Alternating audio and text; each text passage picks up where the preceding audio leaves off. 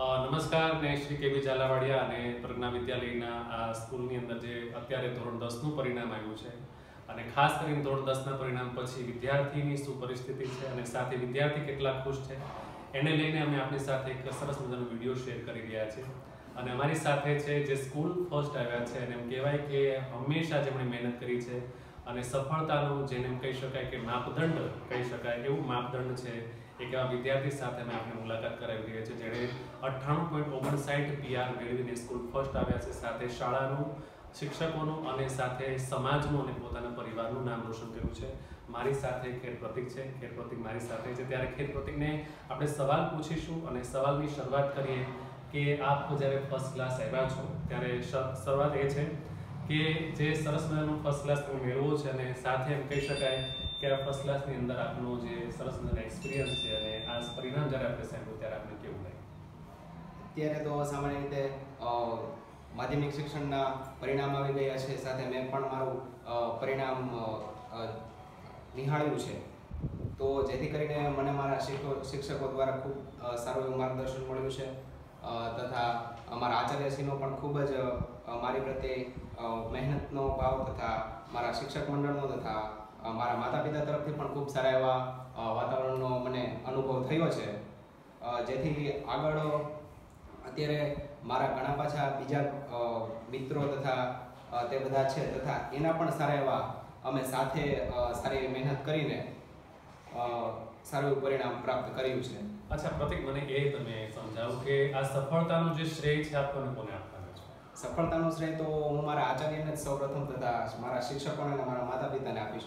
કારણ કે એનો જેવો જે ફાળો છે, એ અત્યારે સ્ત્રોત, અમૂલ્ય સ્ત્રોત માનવો છે. કારણ કે એ અમૂલ્ય સ્ત્રોત મને ખૂબ જ સારો એવો નિહાળવા મળ્યો છે અને મારી પ્રગતિમાં એક પંથ ઉપર મને આ શિક્ષકોનો ખૂબ જ એવો સારો એવો ફાળો મળ્યો છે. અચ્છા, સવાલ એ મારો છે કે શિક્ષકોનો ફાળો છે જ્યારે વર્ગમાં હતા, ત્યારે અને ધોરણ દસની અંદર હતા, ત્યારે એમનો ફાળો છે વિશેષ કેવડો છે? દરેક શિક્ષકો વિશે જો વાત કરવામાં આવે તો એવા કયા શિક્ષકો છે જે આપના રોલ મોડેલ રહ્યા છે? સૌપ્રથમ તો અત્યારના મારી શાળાના શ્રી કેબી ઝાલાવડિયાના જે આચાર્ય રેખાબેન છે અમારા આચાર્ય, એના દ્વારા મને મેથ્સની અંદર ખૂબ જ સારું એવું પરફોર્મન્સ મળ્યું છે. એને તથા બીજા મારા વિજ્ઞાનલક્ષી જો મનોજ સર છે સંસ્કૃત અમિત સર દ્વારા મને શિક્ષણ પ્રાપ્ત થયું છે તથા ગુજરાતી હિન્દુ મેડમ દ્વારા છે અને માધુરી મેડમ દ્વારા સમાજ છે તથા ઇંગ્લિશ હર્ષિત સર દ્વારા પણ ખૂબ સારું એવું મને પરફોર્મન્સ મળ્યું હતું. અને અત્યારના જે શિક્ષકોએ મને કેવી રીતે પ્રાપ્ત કરાવ્યું શિક્ષણ કે મને કોઈ પણ સ્વરૂપમાં મૂંઝવટ પણ મળ્યું નહીં, પરંતુ મારા કોઈ પણ પ્રશ્નનો જવાબ એને મને સંતોષકારક રીતે જો મને જવાબ પ્રાપ્ત કરાવ્યો છે. જેથી મને એનો તો મને ખૂબ જ એનો અમૂલ્ય સ્ત્રોત મને એવું ક્યાંય મળી શકે એમ હતો જ નહીં. એટલે એવી રીતે પરફોર્મન્સ છે તથા મને શિક્ષકો એવી રીતે જાણવામાં આવ્યું હતું કે કોઈ પણ સંજોગોમાં જ્યારે ગમે ત્યારે પ્રશ્નો તરીકે ત્યારે સંતોષકારક જવાબ એ પણ ક્યાંક પ્રાપ્ત થાય એવું ખૂબ જ છે મારા પરિણામ.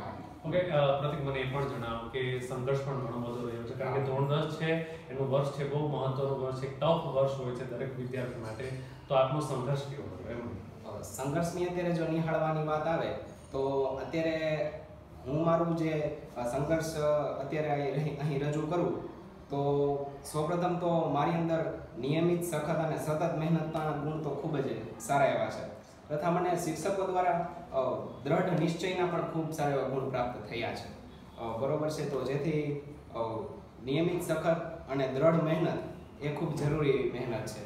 એટલે જેથી કરીને કોઈ પણ વિદ્યાર્થી હોય, માનો કે મારી નહીં, પણ બધા જ વિદ્યાર્થીઓની અંદર નિશ્ચય તો ખૂબ સારો એવો હોવો જોઈએ કે નહીં, મહેનત તો જરૂરી છે કારણ કે એ આપણા એક જીવનની અંદર મહત્વનું ધોરણ દસ એ પગલું કહી શકાય છે. એટલે સંઘર્ષ તો નિયમિત હોવો જોઈએ અને શિક્ષણ પણ સતત ચાલતી પ્રક્રિયા છે, જેથી સતત આપણે તેની સાથે જોડાયેલું રહેવું જોઈએ.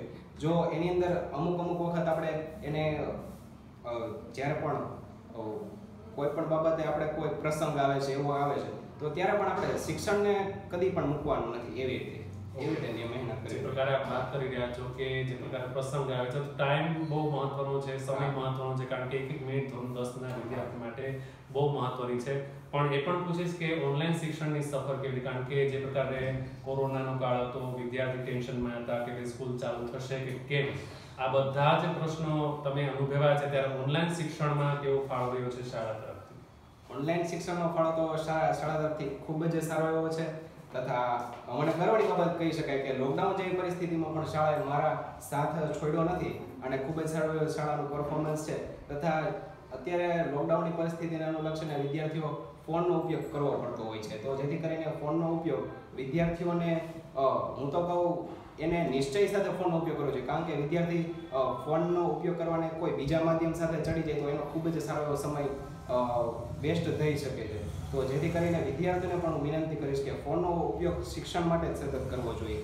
અને હું તો કહું માતા પિતા તરફથી પણ એવું સારું વાતાવરણનું અનુભવ કરાવવો જોઈએ બાળકોને. જેથી કરીને એ વિદ્યાર્થીઓ, બાળકો સતત શિક્ષણ સાથે જોડાયેલા રહેશે.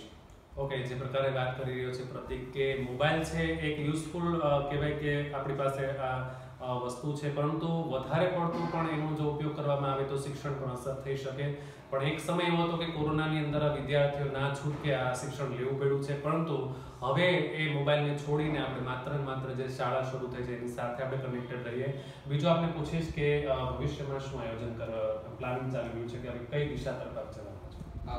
દિશા અત્યારે જો મારી ભવિષ્યની જો નક્કી કરવામાં આવે તો હું અત્યારે મેં ધોરણ દસનું પરિણામ મેળવ્યું, મને ખૂબ જ સારો અનુભવ થયો મારા પ્રત્યે તથા મારા શાળા પ્રત્યે. હવે હું વિજ્ઞાન પ્રવાહની અંદર આગળ વધવા જઈ શકીશ. તથા વિજ્ઞાન પ્રવાહની અંદર ગણિત સાથે એટલે કે અગિયાર સાયન્સ એ ગ્રુપની અંદર હું પ્રવેશ મળવા જઈ શકીશ.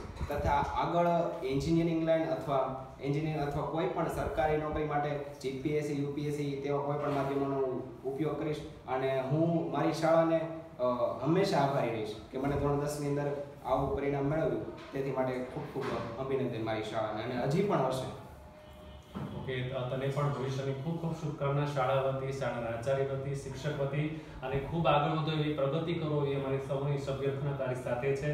અને અમારી સાથે આટલો ટાઈમ એક્સપ્લેન કરવા માટે આપનો ખૂબ ખૂબ આભાર. આ તો અમારી સાથે પ્રતિક